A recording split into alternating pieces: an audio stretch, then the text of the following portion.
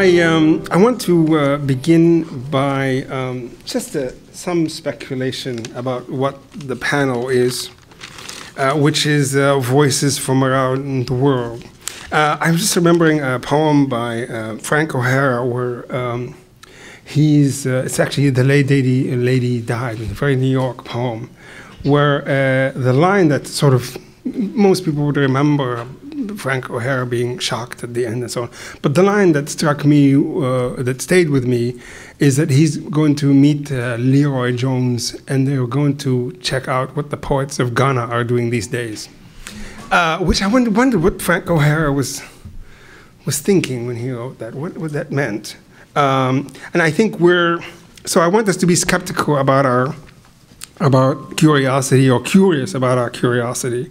Uh, we're uh, come from a history of a isolationist uh, country, a country that uh, also believes in its exceptionalism. I think the two are tied, uh, and so that's that's what part of our history. We're also we we are a nation of nations, which that could mean that we're satisfied with our diversity within. Not that that diversity has ever really meant equality.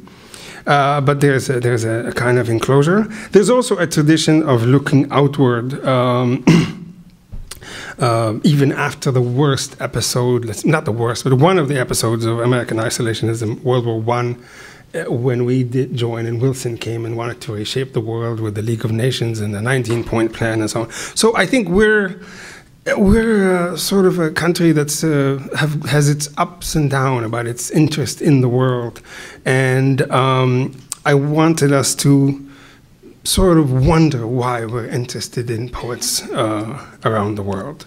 Um, to that end, uh, I wanted to also say it's very difficult to know what the world poets uh, around the world are doing. Poetry, as I think Eliot had said, is one of the most nationalistic uh, of all the arts. Uh, a lot of the debates happen in a, within a linguistic, a limited linguistic uh, context. Um, the poets that are writing are following um, different forefathers, but essentially, if you will, the poet is the best poet in Catalonia maybe doesn't really want to become better than Eliot. He wants to become better, if you will, than the, the most senior poet in that language. So language creates a certain kind of naturalistic bubble, which is very hard to to um, to break into. Much of the current debates in any language are not really accessible in translation. We get, translation is a, a delayed action. Uh, you know, some poems get translated very quickly, but I don't know what the average of when a poem gets translated. It, I would imagine it's maybe 10 years. Some poets get translated 40 or 50 years later. The debates uh, are not easy to, uh, to find. But we can create an artificial experiment and try to find what's happening, which is what I've done. I had no idea how to find out what's happening in the rest of the world, so I reached out to my friends on Facebook, uh, and I reached out to the to many. Uh, actually, I wrote a questionnaire, and I sent it to about 30 Arab poets. Uh, and I asked them, What are you writing today? Do you follow the news? Does it impact or influence your writing? What are you reading today? Have you been reading, rereading poetry? What has been the experience of rereading? Like, I imagine that uh, during a time of crisis, which is what the, a lot of the uh, Arab countries are experiencing, maybe there is a recalibration of whom you know you want to return to your origins, reading origins, and are you reassessing who you read and what you thought? And then finally, what um, did you notice changes in your work? What is drawing you to the new form that you're writing in? Uh, I got one of the first uh, responses I got was. Um, from a poet named Ashur Etwebi. He's a Libyan. Actually, the generosity of American poets helped uh, this poet who had has his house burned and um, uh, by some militia uh, land a place asylum in Norway. So uh, this is not to say that the outreach of American poetry is it, it, has a great impact. And in fact, a few letters from American poets were very impactful in helping this particular poet, who's I think he's the finest poet in in Libya and in, in Arab world today. and he wrote a very lyrical answer, which, by the way, I have not translated. So I, if it sounds like the UN translator, uh, it, it says me. So he says to live in ruin, to live in a false anticipation, to live heroism and humiliation at the same time, to do and not do, to live raising your finger. Uh, which has uh, where the, the, the, the, jewel is shining, uh, protruding and shining, to toss and turn on the burning embers of your disappointments, to discover that your life is but a piece of paper, a newspaper filled with news that are useless now. This is what passing through a historical juncture means to a people who do not know whether you belong to them or not. This is the passing through a historical juncture, juncture where death and life are equated, high and low are equated, narrow and wide, head and tail, the follower and the followed, the, uh, the preacher and the atheist, the stationary and the moving, the virtuous and the virtueless. What are you writing now? he says maybe it should be phrased differently. Uh, what is writing me now? The sound of the truth is quiet, but the lie is resounding. Uh, which of them am I? Um, do I write? Or, or, or, which of them am I? Am I writing them? Or which of them am I writing? Or are they writing me? Even the truth has not remained truth. It has, uh, but it has the smell and taste of alluring lies. But on a some second, on a sec second, the dust has to settle, as it said, and the eyes have to remove the dust and rheum that has gathered on them, uh, and they must try to see the sun. So, very lyrical answer. What is he reading? Uh, he's reading uh, a lot of religious texts. trying to uh, find out, uh, if you will, the roots of some of the uh, extremist ideology that's guiding a lot of the political action now. Um, at the same time, he's wondering, can you get poetry out of this reading? Where is the poetry to be found in, in, in, in, this, uh, in these texts? Uh, also, I'm writing about Norway. the country I'm living in now is with a book called the Norwegian Poems. I'm translating a good deal of Asian, European, and American and African poetry, especially poetry of women. Um, even though he's reading uh, deeply into the theology or ideology of the extremists, he says um, the great uh, topics, the great causes do not uh, attract me, do not allure me towards writing. Uh, he says I, I, I write to but elemental things. At the same time, uh, I am in need of a sieve to which uh, uh filter out my mm. soul and my heart. A sieve uh, that I could filter out the earth and the sky uh, and, and save all the creatures in the dust. You say an idea is a sister to another idea they say a laughter is the sister, one laugh is a sister to another laugh, and they say that metaphor is a god. But oh, how heavy the soul is on the shoulders of the poet. Yes, please. Etwebi, E T W E B I. Etwebi. Uh, he lives in a town called Etwebia. In Norway? Etwebi, no, in Libya. Oh. I used to kid him and I say he lives in Utopia, but uh, he's in Norway now. Uh, Nujum Al Ghanem from the Emirates um, is a filmmaker. Uh, she um, she she writes. Uh, she's a filmmaker and a film critic. Essentially, she says. Um, she's really conflicted about writing, and she says, I do not really feel like I've written anything when I do not write poetry. Uh, and she's not been able to write poetry. Uh, but she says that the writing of the poem has become a way of generating concepts or ideas. And that she, the poem comes, it becomes a, a sort of an intriguing sort of. Uh, uh, there's a form of the poem where even even in the um, in the sonnet where you have the like the problem is introduced and then the, in the eight lines, the, and then you have the the volta, and then the problem is resolved. So, um, in essence, what she's saying is that the poem creates the, the problem, and then she never writes the six lines afterwards. She goes and makes a film out of the first eight lines. um, dismayed uh, about what's happening, uh, is reading the novel. She loves the spirit of unfettered, uh, if you will, confession. She's reading uh, Bashō, Issa, and Buson, uh, Saint John Perse, and Rimbaud and Aragon from France. Charles Simic uh, is um, also one of her favorites, uh, Mahmoud Darwish. And she's reading Sania Saleh, who's not a well known poet, Mahmoud Darwish and Adonis and Qasim Haddad.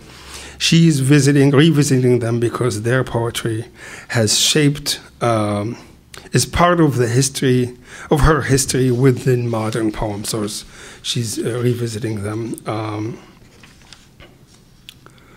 uh, Rasha Omran is not able to write much poetry. She's uh, a Syrian poet living in between Paris and Cairo. Uh, she's reading um, a poet's uh, uh, uh, work of friends. That's all she can sort of do. But the book that she says she's come back to again and again is, and I don't know the name of English or French, but Aragon, the French poet Aragon, uh, uh, Mad, Elsa's, Madman, Madman of Elsa. It's a poem set in Granada. Uh, she's uh, there's actually a long history of association between Andalusian or Moorish Spain and and uh, and Syria because the same dynasty that had uh, ruled Syria from like the 7th to the 8th century uh, uh relocated was the Moorish um, uh, Arab uh, there. And so the, the, writing about Granada to her is um, a, a, sort of, she sees that as, as Damascus, which is her lost paradise now. Uh, Faraj Abu from Libya, I don't know how much time have I gone, maybe two? Faraj Abu Asha from Libya is writing uh, a lot of uh, particular um, uh, journalistic. Um, uh, he's writing about the emails of Hillary Clinton. Of course, there's a the, the tale of there's a. I actually looked up uh, one of the worst days of fighting in Benghazi. I looked up the New York Times, and there was nothing about what's happening in the city. It, there's a, there's a tale, the tale of two Benghazis. One is the American Benghazi, which is all a Republican whatever. And then there's the city that's uh, has been in civil war, does not get reported on. So he's trying to actually uh, take from the emails of, of Hillary Clinton how the, the U.S. involvement at that time shaped the, the, the political conflict as it is now. Uh, he remembers uh, the days when he was a refugee in Germany.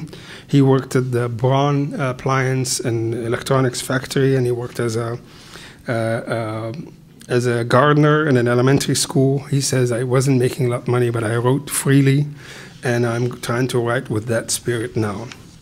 Uh, Rana Tounsi, uh, Egyptian, there's so many. She actually says something very interesting. He says, uh, she believes in the poem more. I, I, I, trust poetry more, that it has, um, it brings uh, life to the sun sunrise as if life is at the when you read a poem you feel like life is at, at its at, at the sun as, if it's a, a, new sunrise that it opens a, a new attitude towards life uh, i felt reading the earlier poets it is as if i'm a shadow for those who had passed before me that the fear i'm feeling or that I'm the shadow of those who had passed before me, that the fear I'm feeling is not mine alone.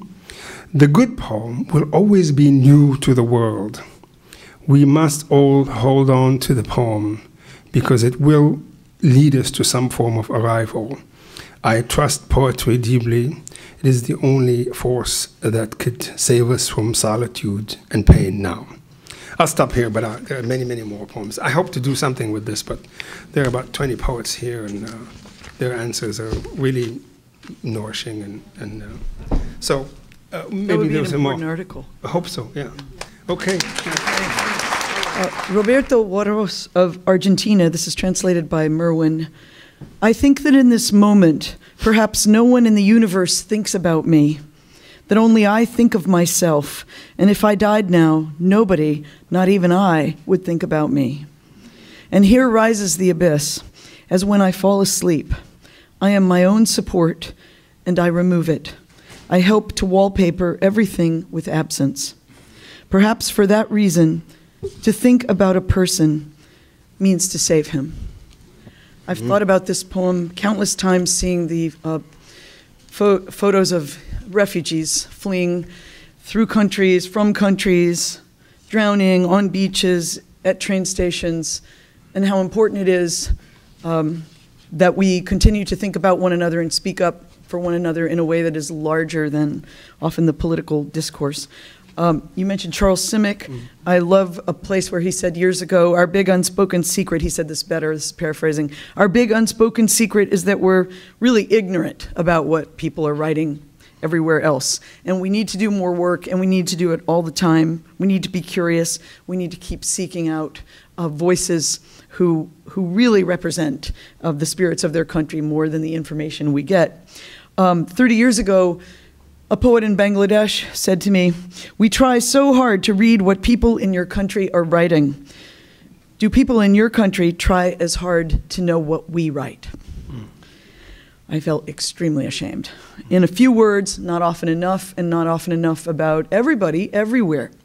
Um, it did strike me on one of my two, three trips to Bangladesh that that was the only place I'd ever been in the world where a poetry reading could be organized at 2 p.m., uh, some posters tacked up on doorways, and 2,000 people would show up four hours later. Um, I just had never seen this kind of model for poetry hunger. In a globally connected society, this, this desperately complicated universe we're sharing, it seems our responsibility is to find these voices from everywhere who are reaching out to us. Galway Kinnell said to me, Poetry is someone standing up, so to speak, and saying with as little concealment as possible what it is for him or her to be on earth at this moment. Um, and too often, the news we're given, the headlines we're given, feels more like concealment of too many perspectives. Um, Rolf Jacobsen of Norway, place I've never been, I've been reading his poems for decades though, so I feel as if I've been there. This is translated by Olav Grinde. wrote years ago We are all children when we sleep. There's no war in us then. We open our hands and breathe in that calm rhythm heaven has given us. Some years ago, uh, this academy sponsored a poets exchange between poets of Mexico and the United States. Um, a few of us went to Mexico and gave readings here and there in different communities, and then they did the same small groups, both directions. How fascinating it was, even though I live very near the border of Mexico in a 63% Latino city, to meet all these Mexican poets and hear them describing their deepest inspiration as being European surrealist poetry. We feel no connection, they said, to Mexican American poets who like to write about family, heritage, and tradition. We are surrounded by our families, they said. Poetry is the one place we can get away from them. we are not hearkening back, reaching to the ground of our own being, our ethnic legacies. We are reaching out for liberation. Um, it changed my life to meet this group of poets. Many of us have stayed in touch to this day. Um, Shirin Ebadi, a, a, a, wonderful activist, advocate for uh, human rights from Iran, uh, came to, I think she was first Iranian woman to win the Nobel Prize, I believe. The only one. The only, yeah. right. Um, she came to San Antonio some, some years ago and uh, gave an amazing lecture. And uh, she had gotten an old family friend to come and translate. And um, her lecture, because she was um, did not feel comfortable speaking in English, and um, I remember that he was asked at the dinner before the event, um, "Do you do this often?" He said, "No, I've never done this in my life. I run a car dealership. I'm in, ta- I'm in, a, I'm in a state of terror." and he gave a beautiful, beautiful translation, and uh, of which she approved and loved. And she said, "Whenever there are two countries in conflict, potential conflict or breaking news conflict, this is the time we need more than ever to share our real human stories." Our recipes, our food, our music, our poetry.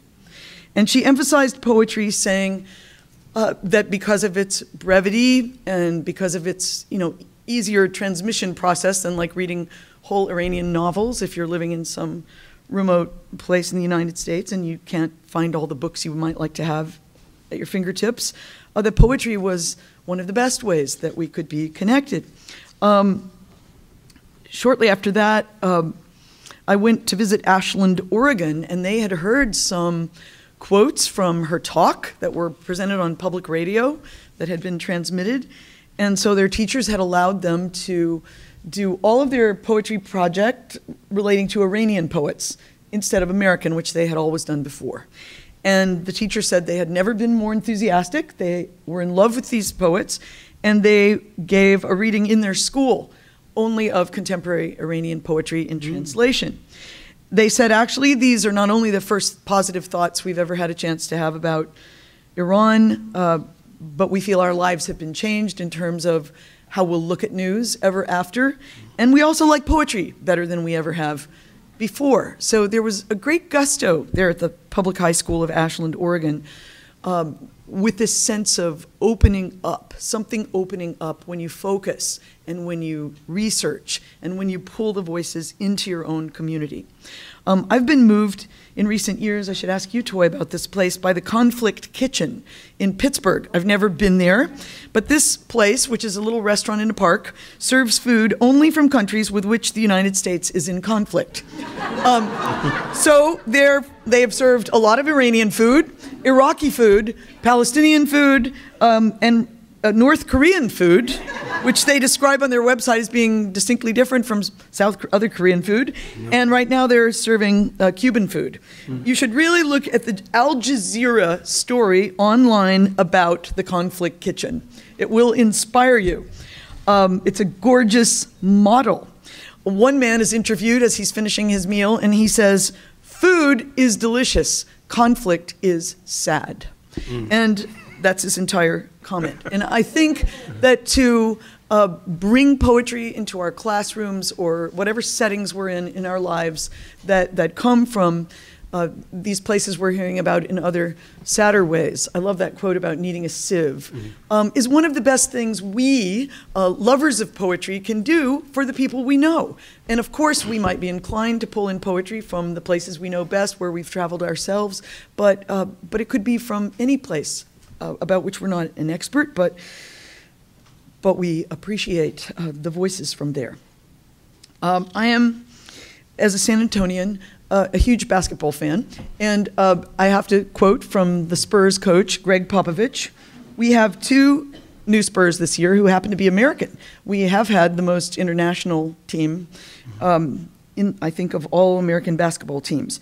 And so uh, Gregg Popovich, our coach, was just asked, "How are you creating creating camaraderie with these two new stars who are American and all the other players are not American? How are you how are you doing it? How are you getting everybody to know each other and play together well before the season starts?"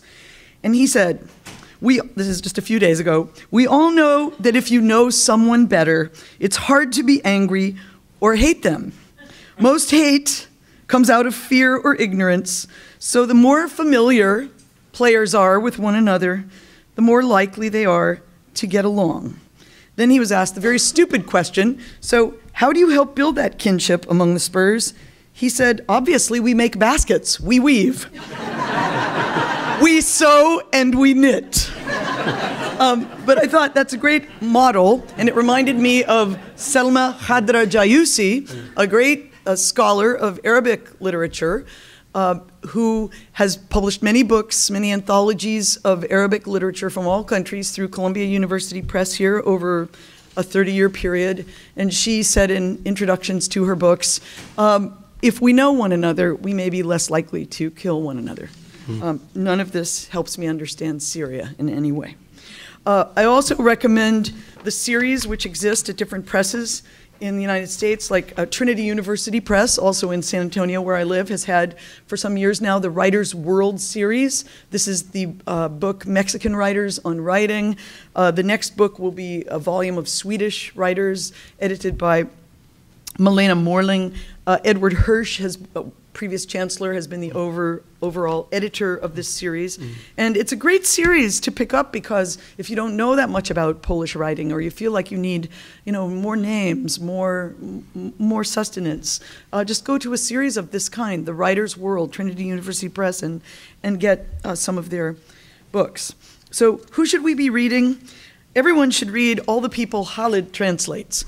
um, Saadi Youssef has been an extremely important uh, poet uh, to me in recent years, and I think that uh, he's very popular among students of all ages. High school students love him. His book, you uh, you translated "Without an Alphabet, Without a Face," mm-hmm. is a very popular and important book. I think it won the PEN Prize, didn't it? Yes. The PEN Translation Award, and. Uh, uh, and it, and it, it's popular everywhere. Everybody loves that book. Um, Arthur Sze, our third panelist who could not be here today, says he specially wanted to recommend everyone to the work of a Dutch poet whom he is translating, K. Period Michel, M I C H E L. And uh, his poems are starting to be published in English, and as well as Wang Jian, or Jiaxin, J I A X I N, Wang Wanzhan. He would like people to read that poet, and Mimi Ye, Y E, from Taiwan. Uh, these are the, his three favorite poets from elsewhere he has been reading this year. Uh, working in China this year and talking to a lot of young people, uh, they were very surprised and enthusiastic to talk about contemporary poetry because they said in their schools they're so often given ancient poetry and older poetry that they felt happy to hear about uh, poets in this country whom they might particularly like. Um, they say many of them were raised to feel it was an ancient art they could never aspire to. Um, young writers in Gaza have been reaching out through the internet.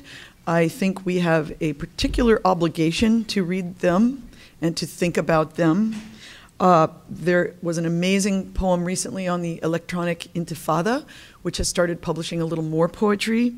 Um, since Jimmy Carter has been one of the only American politicians ever to acknowledge the existence of Palestinian people in a rounded way, I feel that we have a real obligation to read all these young voices.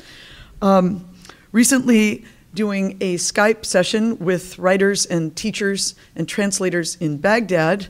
Um, I was asking them what had sustained them through these many recent terrible years, and quite a few of them said the voices of Emily Dickinson and Walt Whitman had been foremost.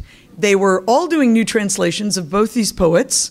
Uh, they were they would have just spent the entire time talking with one another about their own translations. Um, it seemed like an incredibly generous move on their parts to me to be so interested in American poets at all. Uh, and you made the comment that translation is sometimes a delayed action. I'd like to thank Inga Judd in this audience. I met her here last year, and we had a good conversation. And already, some of her translations, thank you very much, um, of a couple of my humble poems have appeared in a beautiful German magazine. And I've visited Germany many times, but next time I'm taking this with me. Thank you, Inga. Uh, thank you for your work. And the crucial need, I feel, for international literature that's not particularly written for children to be shared with young children as well. Um, this is something that American teachers are very, very open to.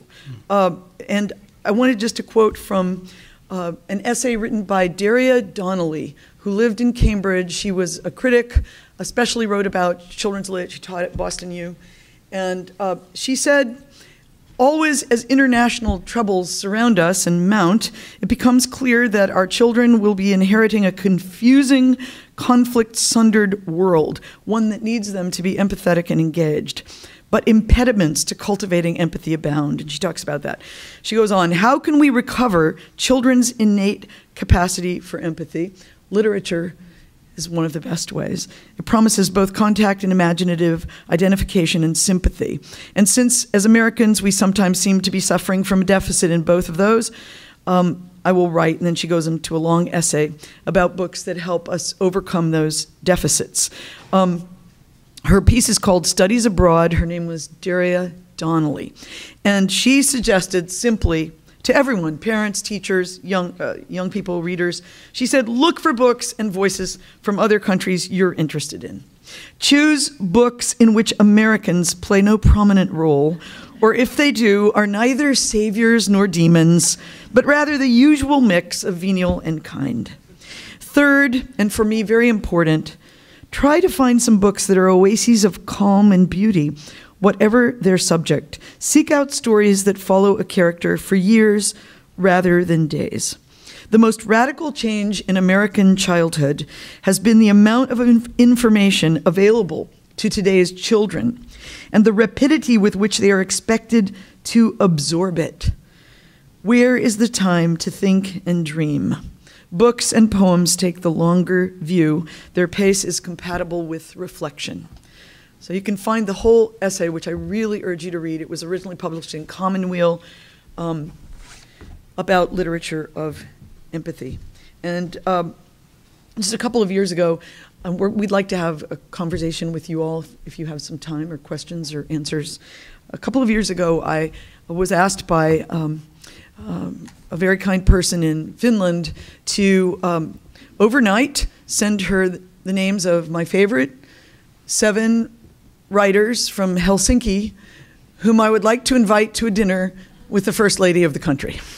and I was so ashamed once again. Yes, they do that all the time. I know. They're these big people. They just ask you for something for, like that. And it has to be overnight. so I had a panic attack. I started scouring my bookshelves. Everything was on the floor. And then I went to the internet, and I'm not a particularly savvy tech user, but there are an astounding number of wonderful uh, sites of Finnish poets in translation. And in fact, I'm proud to say that I was able to find one that none of the poets or the First Lady had ever heard of. One site. And by reading like 35 poets of Helsinki, it was easy to pick out seven that were my faves. And when they found out, um, you know, I turned in my list the next morning, exhausted and tired. And um, when they were invited to dinner with the First Lady, of course, they all came.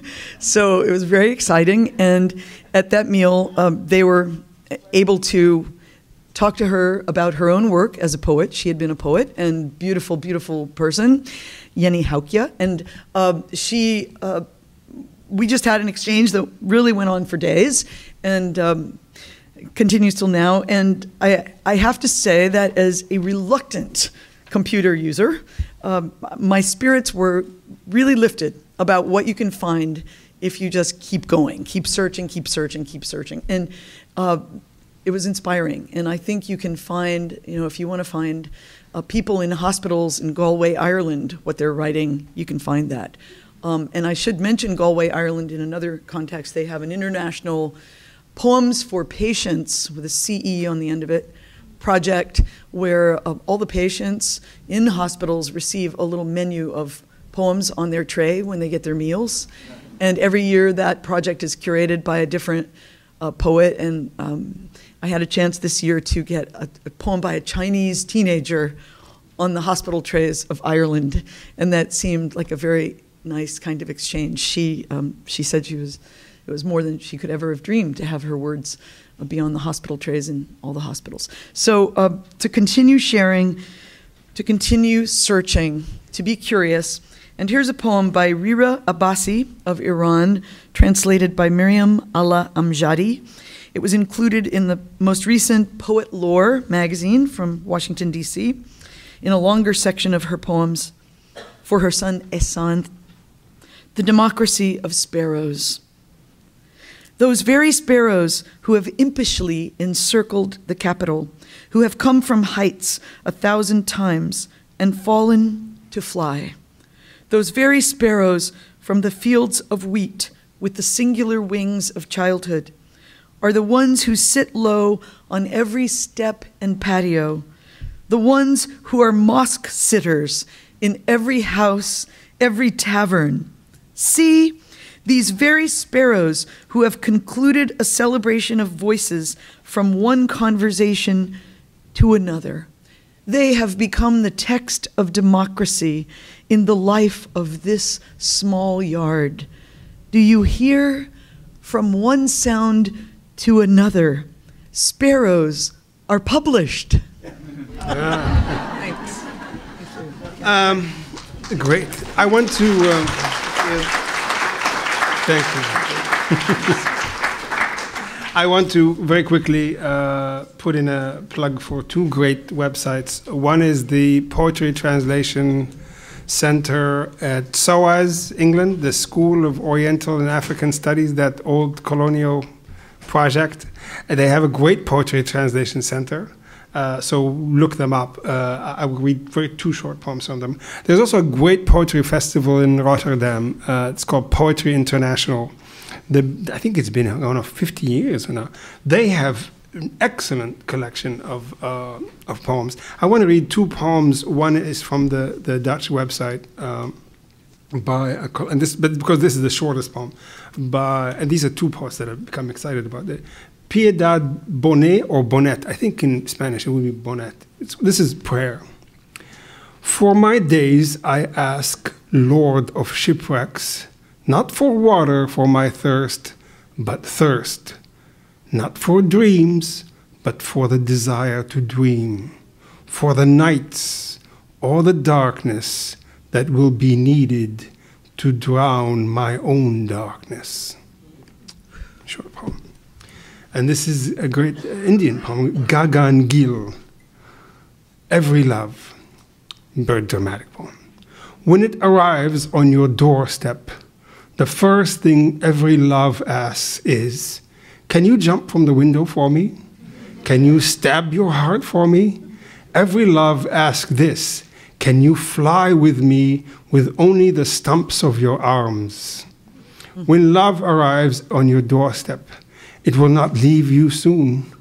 It has to go to some mountain or valley, to an ocean or river. It comes to your house out of the blue and wants to know if you will come along to drown with it or not. Every love gives you enough time to die for it.